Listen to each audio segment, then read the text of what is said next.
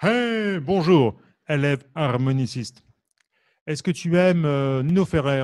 C'est un auteur, compositeur, interprète, et euh, j'aimais beaucoup ses chansons. Et il y en a une que, j'aime vraiment euh, par-dessus tout, enfin il y en a deux vraiment que j'aime par-dessus tout. L'une d'elles, c'est Le Sud.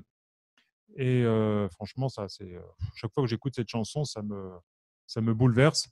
Et bah, si tu l'aimes aussi, sache que j'ai fait la tablature pour toi, la tablature pour harmonica, et j'ai réussi à faire en sorte que le morceau soit de niveau 1. C'est-à-dire que tu n'as pas besoin de connaître euh, les altérations, encore moins les overblows pour jouer ce morceau. Il te suffit de jouer des notes naturelles, soufflées et aspirées. Si tu ne connais pas les codes qui te permettent de déchiffrer les tablatures, tu trouveras un autre lien sous la vidéo pour télécharger la liste des codes.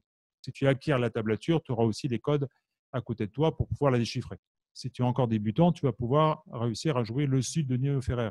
Si tu veux euh, me l'écouter jouer euh, à l'harmonica, je t'ai mis également un lien sous la vidéo où je joue euh, ce morceau sur un harmonica en si bémol, mais tu, tu, peux bien évidemment jouer ce morceau sur n'importe quelle tonalité d'harmonica.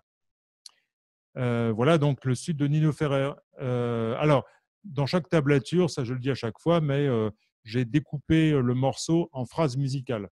Donc, tu apprends à jouer la première phrase, puis tu passes à la suivante, puis à la suivante, puis à la suivante, jusqu'à ce que tu réussisses à jouer complètement le sud de Nino Ferrer.